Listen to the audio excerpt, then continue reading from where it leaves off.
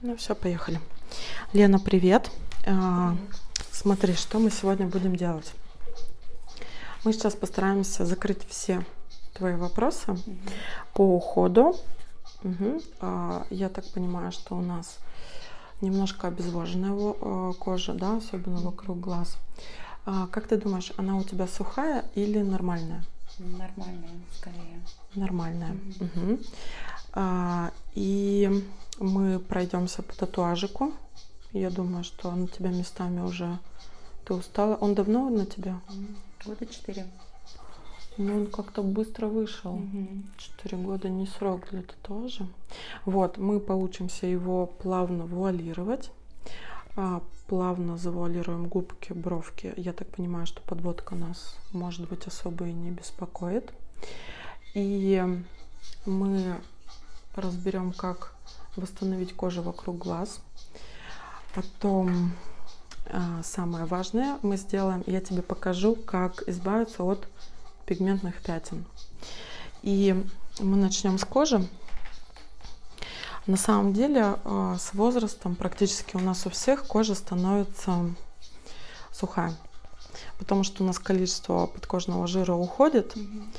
И как только уходит количество подкожного жира, у нас резко наступает фаза обезвоженности. Ну, то есть все вот эти маленькие морщинки на лице – это фаза обезвоженности. И, например, если у тебя общий тургор лица очень хорошо держится, потому что у тебя ткани плотные и кожа достаточно плотная, то на фоне этого все равно начинают страдать те участки, где кожа очень худая. Потому что тип кожи равно толщина кожи. То есть э, участки, где у тебя очень тоненькая кожа, там кожа сухая. И вот участок вокруг глаза, угу. здесь кожа как раз-таки всегда сухая. И ты замечала, а, ну у тебя же тоже бьюти-тема, что у женщин чаще всего вокруг глаз кожа сначала угу. страдает, потом шея, а, передняя стенка, да, а, декольте и ручки. Потому что там очень тоненькая кожа.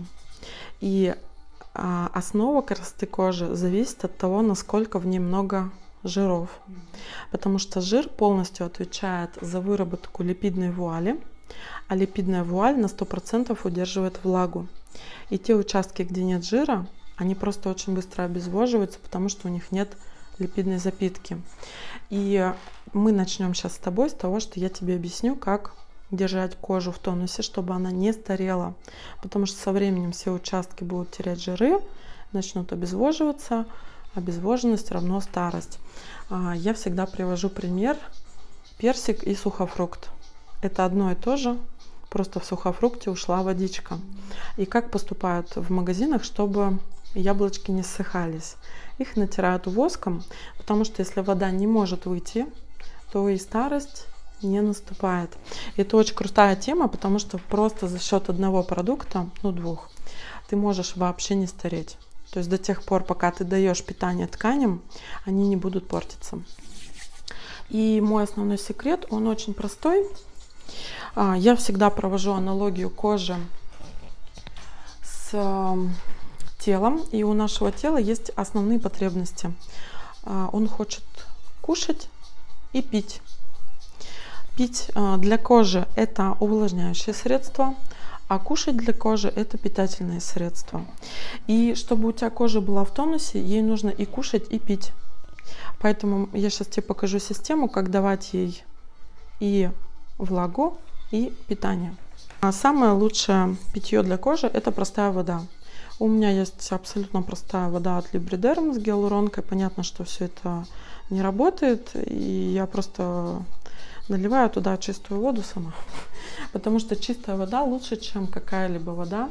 Например, у меня есть э, гидролат. И, э, конечно, я все тестирую. Я вижу, что гидролат хуже работает на коже, чем просто чистая вода. Почему? Потому что вода мне нужна как э, средство для того, чтобы кожу размягчить это предварительная фаза перед тем, как я ее запитаю. И когда я выкладываю гидролат вместо воды, я вижу, что частички, которые содержатся активные в гидролате, уже закрывают мне те места, которые я хочу сама запитать. И Первую фазу я буду вам показывать воду, а вторая фаза это масло. Простое косметическое масло холодного отжима. А, оно может стоить любых денег, э, от 200 рублей до бесконечности, в общем. Ну, там уже вкус, эстетика и кошелек. И вот эта простая схема, которая дает стопроцентно все необходимое для кожи. Потому что э, кожа это мембрана. И мембрана, знаешь, есть такая ткань у горнолыжников – снарягу шьют из мембраны. вот ты катаешься на горе, ты когда потеешь, у тебя влага наружу выходит, а влага снаружи внутрь не поступает. И э, ткань для снаряжения делали по прототипу кожи. И у нас кожа это мембрана. Кожа это выдыхающий орган, то есть она отдает, но ничего не впитывает. Поэтому а, по факту сверху ее чем-то запитать и в нее что-то впитать невозможно. Кожа ничего не впитывает, сколько бы ни стоил твой крем или еще что-то, это никогда не впитается в кожу. У кожи есть только одна возможность что-то впитать, это верхний мертвый роговой слой, потому что мертвые чешуйки кожи работают как абсорбент, и их возможно запитать. И здесь а, такой большой секрет – если ты пользуешься, например, увлажняющими средствами, ты, кстати, чем пользуешься сама? Сейчас Диором. Вот все говорят бренд, но не говорят суть. Это увлажняющее, питательное. А, на ночь питательное, а утром увлажняющее. Угу. Серия, вот. Так. И а, теперь начинаем простраивать логику. Угу. А, твой организм теплый, ты обладаешь температурой. А когда на теплый объект попадает влага, что происходит? Влага начинает испаряться. Да, все увлажняющие крема с твоего тела испаряются. И тот волшебный момент, когда ты думаешь, что крем впитался, он испарился. Увлажняющим кремом без поверхностной, э, ну, закрывающей какой-то еще субстанции пользоваться бесполезно. Мы будем вместо увлажняющего крема использовать водичку. Вот, и на ночь ты пользуешься питательным. Питательный это то, что не выветривается, потому что это более густая, более жирная субстанция. И здесь есть такой вопрос, что это липиды, то есть жиры. Питательные крема это уже какой-то липидный состав. И в липидах есть две основные фазы. Прозрачная фаза и мутная фаза. Вот маслица, на котором я сейчас буду тебя запитывать, это прозрачная фаза. А, даже если его поставить в холодильник, он остается прозрачным. А твой крем, он мутный. И вот мутная фаза – это та фаза, которая не впитывается в кожу. То есть из липидов впитывается в кожу только прозрачная фаза. И самый лучший уход для любой кожи, любого типа, в любой стране мира, с любым климатом, это простая вода и простое косметическое масло за любую денежку. Главное, чтобы это было чистое масло холодного отжима, косметическое. А, не нужно пробовать брать э, оливковое масло из холодильника а, или кокосовое мутное масло, потому что любые масла, которые становятся мутными или расслаиваются хлопьями в холодильнике, значит они не впитаются в кожу, это поверхностное покрытие. И на данный момент из того, что ты назвала по уходу, ни одно, ни второе средство в тебя не входит. То есть ты создаешь на ночь защитную пленку, но она вглубь не проникает и не делает твою поверхность более пластичным. За счет этого начинают образовываться морщинки. Потому что морщинки это что такое? Это обезжиренный участок кожи, которым ты активно мимически пользуешься, и он начинает ломаться. То есть он начинает, как тонкая слюда, трескаться немножко. Вот. И задача, чтобы ты никогда не старела и маленькие морщинки не образовывались, и ты не обезвоживалась, надо сначала кожу немножечко расслабить, распарить, потому что верхний мертвый слой, он как сухая бумага. И потом его быстренько, плавненько запитать, запечатать до тех пор, пока водичка не успела испариться. Это очень странная схема, а, но через три дня у тебя будет новая кожа. Очень крутая тема. Вот, и я когда объясняю кожу, я очень часто даю аналогию с хлопковой рубашкой. Вот на тебе как раз рубашка.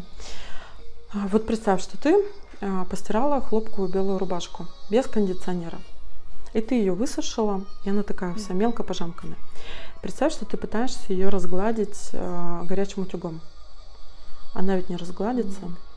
Потому что, чтобы что-то разгладить, это надо сначала немножечко Увлажнить. увлажнить, распарить. И кожа по своей структуре это ткань. И я училась на fashion-дизайне, и у нас был очень классный препод по технологии швейного производства. И она нам всегда говорила, дети, вот посмотрите, кожа это же трикотаж. Мы такие, о. А если разобраться, так и есть. Вот у тебя череп обтянут и все тело трикотажным полотном, потому что кожа, видишь, она пластичная, то есть это трикотаж. Ты когда-нибудь резала трикотаж сама? Да. Что с ним происходит? Как бы махриться начинает. Нет, он закручивается. А, да, да. Да, когда трикотаж, да, да, да, да. Он в такие две Да, да, полосочки. да. И вот исходя из этой теории, что твое лицо обтянуто трикотажным полотном, ты можешь мне сказать, что такое губы на лице? Губы это надрез. То есть ты обтянута чулком. Чулок, понимаешь, да, это трикотаж без швов. Мгм. Ты обтянута чулком, Мгм. и тебе сделали надрез. Мгм. И вот эта ткань губ это выворот трикотажного полотна, потому что там есть упругость, Мгм. и он начинает Мгм. выворачиваться. И твои глаза это тоже надрезы. И посмотри на высоту губ, да, то есть э, толщину полотна. Посмотри на высоту слизистой. Представляешь, во сколько раз на глазах кожа тоньше, чем, например, Мгм. кожа в нижней части лица. И когда мы ухаживаем за кожей, нужно всегда помнить, что это ткань. И теперь представь, что у тебя спортивный костюм. И у тебя на штанах растянулись коленки. Что ты будешь делать? Наверное, постираю. Да. Ты стираешь, потому что единственное, что нужно трикотажу для восстановления своей эластичной функции, это вода. Ты можешь даже его полностью не стирать, у тебя там что-то растянулось, ты это немножечко смочила, ну хоп, и подсела. И старинный пример с э, шерстяными брюками. А, раньше как бабушки поступали? Ну и да, наверное, только у бабушки такое видела. А, когда шерстяные брюки на коленках растягиваются, их, чтобы вернуть э, в исходный вид и стрелочки прогладить, их сутюживали через марлечку влажную под давлением. И вот с кожей можно то же самое сделать, особенно если она уже поврежденная. Но у тебя хороший тургор, у тебя скорее вопрос по пятнышкам. Но для всех, э, для кого актуально количество кожи, его можно ну, от трех дней до 10 собрать в разы. Я на мастер-классах, знаешь, беру техничку, прям у которой не просто мешочки, знаешь, а уже кожа вот так вот висит как бы под глазиком. Я просто при э, студентах собираю кожу за 40 минут. Ее можно полностью преобразовать. Вот. Вау. Да, и сейчас я тебе покажу хитрый тон, потому что моя задача тебе не просто уход дать, а это должен быть уход с тонированием, то есть это сверхзадача. Потому что наша с тобой основная суть – это избавиться от пигментных пятен. До сих пор этого не произошло. А сколько лет ты уже с ними? Ну, три года точно. Они у меня Три года. больше, то меньше. Ну, все зависит от солнышка. Ну вот, а в реальности насколько они стали слабее по сравнению с первичным состоянием? А они чуть-чуть стали получше, может быть, потому что я стала прям в этой проблеме уделять внимание. Да. То шляпы одевают А. больше, там как-то Мгм. закрываться. Но все равно, даже если в это лето я носила шляпу, но все равно они проявились. А, а ты пользуешься физическим SPF? Ну Да, вот эти да, классические. десяткой. Белым мутным кремом. Белым, да. С Да. диоксидами. Да. Вот а, что я хочу сказать. А, если ты пользуешься физическим SPF, то есть это все вот эти мутные Мгм. составы, у них есть а, побочное действие, то есть они одно лечат, второе калечат. И чем мы старше становимся, тем и так у нас более обезжиренная кожа. И все вот эти белые мутные составы с диоксидами, они еще сильнее э, вытягивают влагу и обезжиривают немножко. И ты, когда долго в них ходишь, у тебя, э, возможно, мягче становятся пигментные пятна, но у тебя усиливается мелкоморщинистость, обезвоженность. Да, ты замечала, что Мгм. она такая не очень пластичная кожа Мгм. становится. И когда мы э, особенно обладаем уже или взрослой кожей, или сухой, то есть тонкой, то лучше так не делать, и можно более хитрым путем пойти. И я тебе могу предложить как минимум два варианта. А, даже больше. Смотри, первое. От чего зависит а, наличие пигментных пятен? У тебя в коже должен быть родной SPF. Что такое родной SPF? А, это твой так называемый иммунитет. Иммунитет, он содержится в коже очень активно. Иммунитет всегда содержится в липидной вуале. Чем реже ты снимаешь с себя липиды, чем больше в твоей коже липидов, тем крепче твой иммунитет. Если ты будешь правильно запитываться, я тебе сейчас покажу, то у тебя постепенно родной иммунитет подрастет и родной СПФ тоже вырастет. Это первый шаг. Вот. Второй шаг, что можно использовать не мутный диоксидный состав, а можно использовать э, химический SPF. Химический SPF, ну вот у меня есть вот такой, это 50. Химический SPF отличается тем, что он прозрачный, и он не на создание теневого слоя работает на коже, а на поглощение определенных частиц, и ты практически никаких неудобств не испытываешь. Вот а, давай я тебе на ручке покажу. Закрой глазки, чтобы тебе не попало. Сейчас. И вот теперь посмотри на руку. Угу. Вот, все, да, это покрытие. Не заморачиваемся на различия физический, химический. Ищем прозрачный спрей э, защита SPF.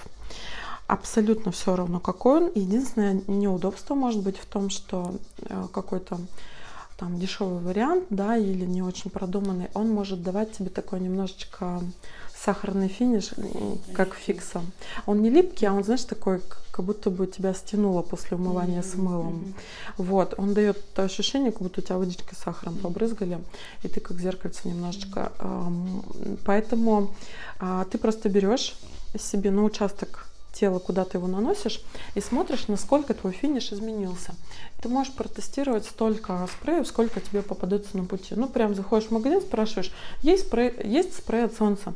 Нет смысла у консультанта спрашивать химический SPF, они не знают, что это такое. И в магазинах текучка кадров настолько высокая, что очень часто девушки увольняются до того момента, как их успели обучить на той продукции работать, изучить составы там и действия, которые они продают. Поэтому а, проще всего заходить, спрашивать спрей от солнца, там, защиту.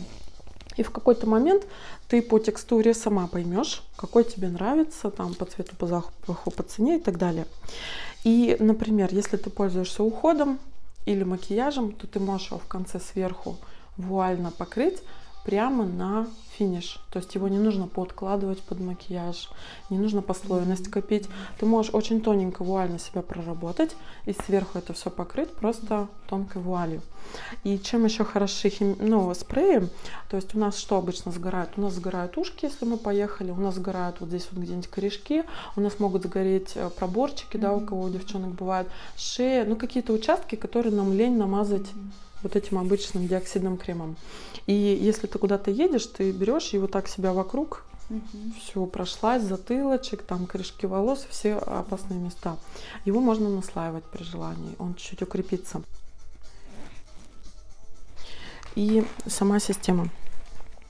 Нам нужно научиться замешивать себе тональный крем, который будет являться мощным SPF, а, который будет являться тонированием, да, то есть э, я думаю, что тебе хочется выровнять тон. И он должен являться уходом, потому что декоративная косметика, которая является касательной к первому слою кожи, она всегда должна выполнять функцию ухода. Вот, и тебе придется научиться самой смешивать тональные крема.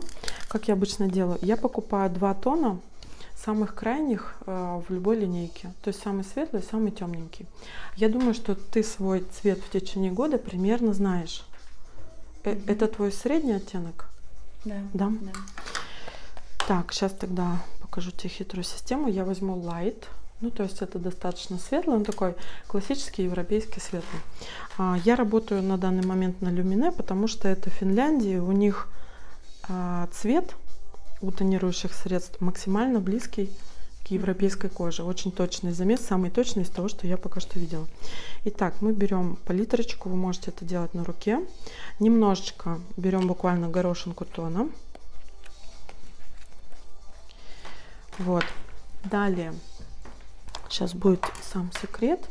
Нам нужно купить мелкодисперсный шиммер в сухом состоянии. Это вот у меня есть такие две баночки. Если приложить кожу, то одна чуть более смуглая, и вот это прямо в тон нам попадает. Это стрейт для классической европейки подойдет всегда четвертый оттенок. Стоит банка 200 рублей, хватит а, на год. Смотри, это такой очень-очень мелкодисперсный шиммер, то есть очень маленькие блесточки, такой перламутр, как будто бы пыльца. И если его смотреть, mm-hmm. видишь, он очень-очень мелкодисперсный, и он скорее как вода, то есть в нем крупных а, частиц а, блесток не видно. И если его очень тоненько раскатать, ощущение, что просто участок более влажный. И в чем суть? Если взять такой шиммер, очень похожий на тон твоей кожи, а, это должно быть обязательно розовое золото, то есть мы не рассматриваем холодные подтона, мы рассматриваем только бежевые и а, вариации розового золота.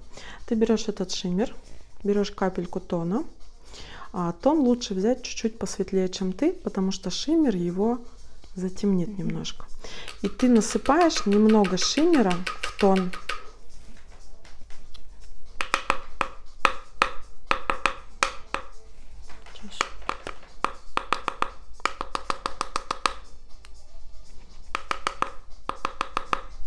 Это не очень удобно, но использовать жидкий шиммер еще хуже, потому что они обычно более крупнодисперсные.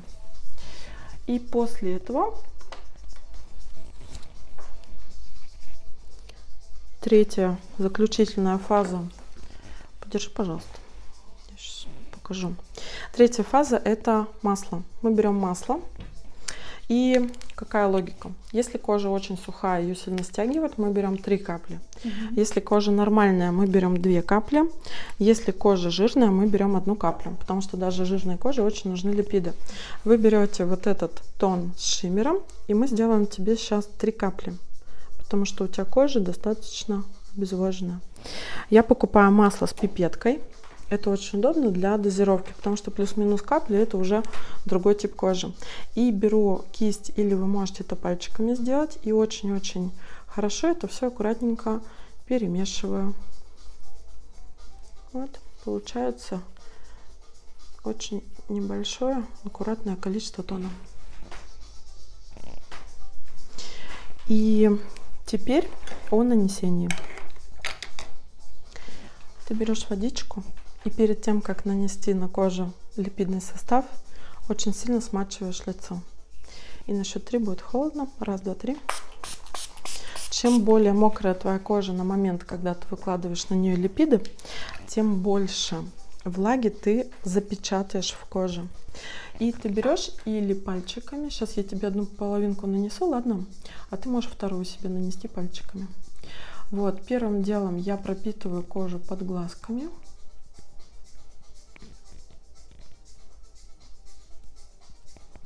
Вот. И обязательно очень щадящей моторикой это делаю, чтобы ни в коем случае чешуйки кожи не потревожить, не растянуть кожу, а сутюжить. То есть мы сейчас как бы под давлением чувствуешь, да, что я на кисть немножечко давлю. Я давлю на кисть, чтобы пока кожа влажная, она под давлением разутюжилась и выгладилась. Вот, и если кожа уже подсохла, то лучше ее повторно намочить. Вот. И раз уж у нас такой блестящий состав, то нужно обязательно в конце чуть-чуть дать на ушки, чтобы не было ощущения, что кожа чем-то покрыта. Потому что если текстура ушек и кожи совпадает, тогда не будет ощущения, что что-то покрыто, а что-то нет. Вот, и такими аккуратными движениями все это разносим до тех пор, пока кожа немножечко не расправится и не будет на вид как зеркальце. И закрываем глазки. На глазки тоже обязательно выкладываем этот состав, потому что кожа на глазках вообще максимально нуждается в уходе и липидах. Угу, все, можно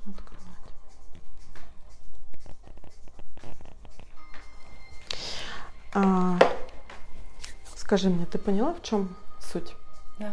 В чем суть? Увлажнить, э, закрепить влагу, то есть э, э, ну, как бы ставить спрятать, ее, да, угу. спрятать и дать тон, выровнять. А вот в чем секрет тона с шиммером? Ну, скорее всего, что шиммер работает со светом. Он как зеркало работает. Да, отражает. Капля шиммера в тон – это стопроцентный SPF. Понимаешь, то есть зеркало – это гораздо более мощный инструмент, чем любое покрытие, которое дает тебе теневое облако. И я тебя очень тонко покрыла. Сейчас тебе выдам зеркальце. Я тебя покрыла настолько тонко, чтобы ты могла себя чувствовать, как будто бы просто в питательном кремике. И вот посмотри, пожалуйста, на две половинки.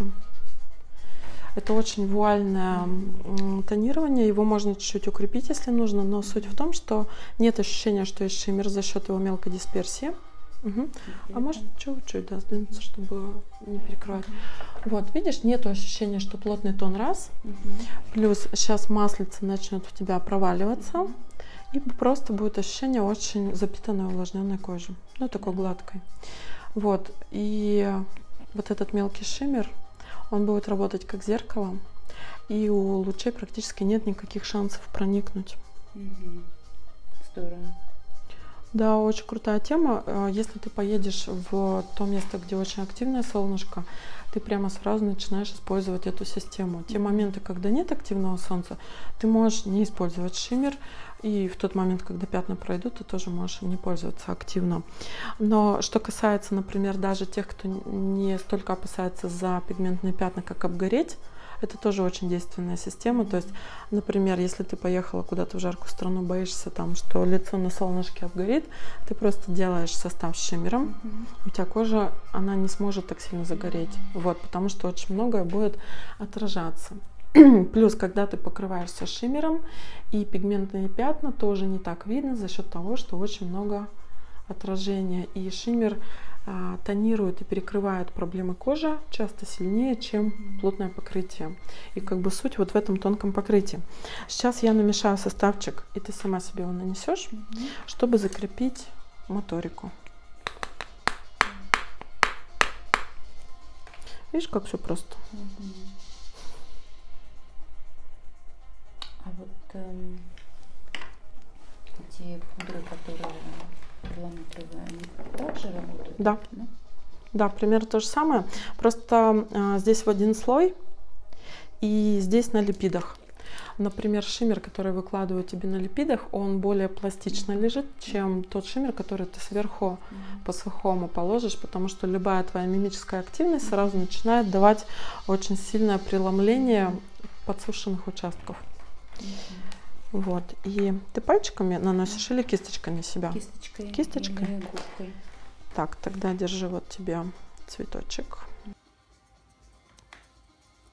Очень аккуратненько это все смешиваем, да, чтобы была ну, единая консистенция. Вот, и еще я очень часто кисточку переворачиваю, чтобы, ну, как бы более активно размять. И сейчас я тебе тогда помогу мочить. Раз, два, три. Мгм. И смотри, нужно снять. То есть, а, если вы пальчиками, то очень мало на пальчик. Если кисточкой, снимаете с кисточки все лишнее, чтобы там была Мгм. практически ву- ву- вуальная степень нанесения. Так, давай тогда вот так поменяемся. Ты будешь держать зеркальце, а ты можешь вот сюда повернуть, чтобы видно было твою меха... ну, моторику. Наносить? Да. И твоя задача перестать тереть кожу. Мгм. То есть ты ее практически как бы прохлапываешь. И в какой-то момент у тебя рука встанет на скорость. Задача не растягивать участки кожи для того, чтобы ее не повредить. То есть наша задача собрать, а не растянуть.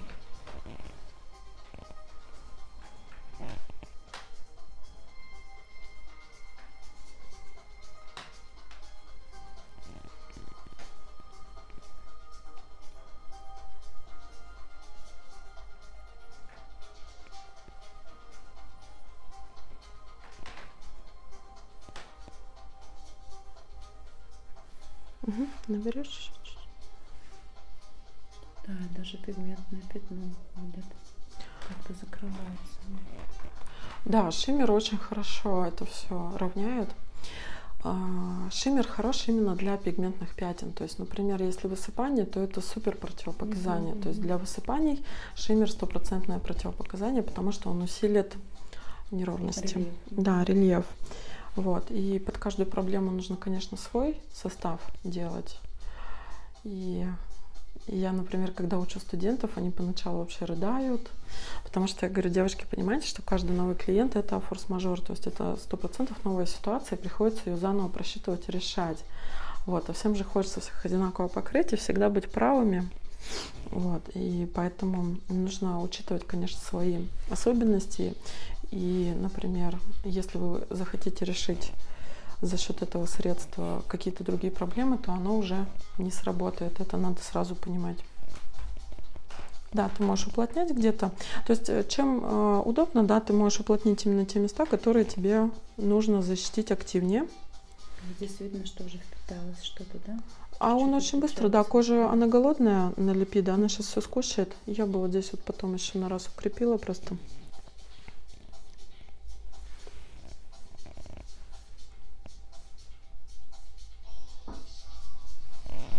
Угу.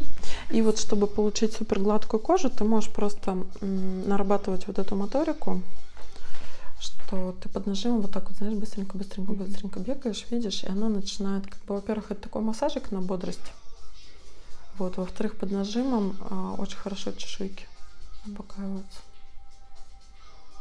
Вот. И в какой-то момент у тебя моторика встанет, и у тебя кожа начнет просто вообще как зеркало выглядеть.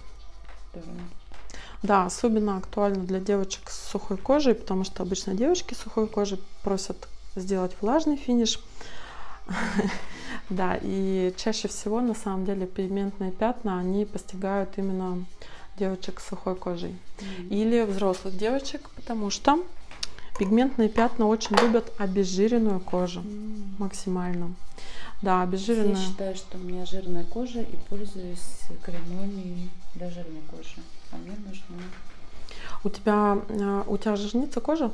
Нет, но я вот считаю, что мне нормальная или жирная. То есть больше, угу. а мне оказывается уже сухая кожа. У тебя сухая кожа, да. А, вот смотри, если кожа жирная, сто процентов, что она обезвоженная. Потому что жирность кожи это цепная реакция на то, чтобы защититься.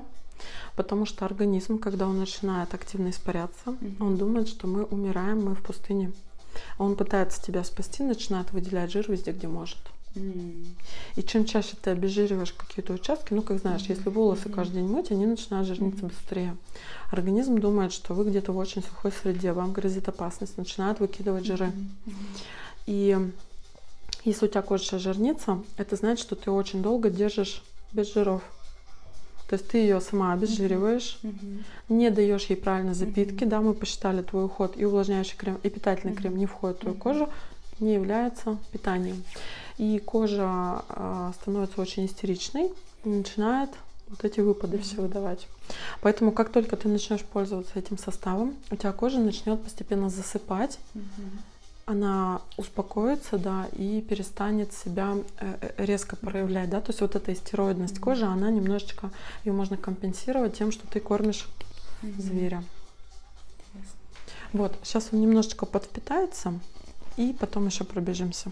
Угу.